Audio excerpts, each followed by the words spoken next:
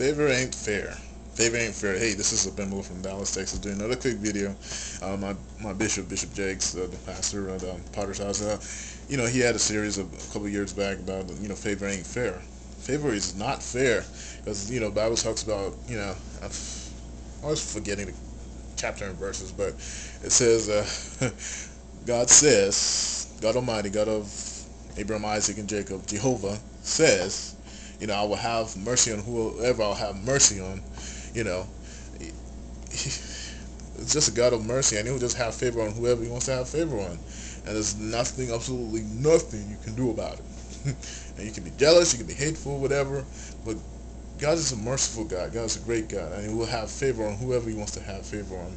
And you know, it's not for you to determine who God's going to bless or God's going, you know, God will have favor on whoever He wants to have favor on.